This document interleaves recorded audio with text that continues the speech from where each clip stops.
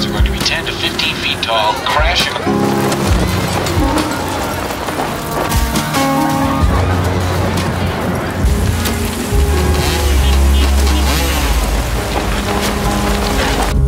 Hey, little babe, don't you cry. We got that sunny morning waiting on us now. There's a light at the end of the tunnel.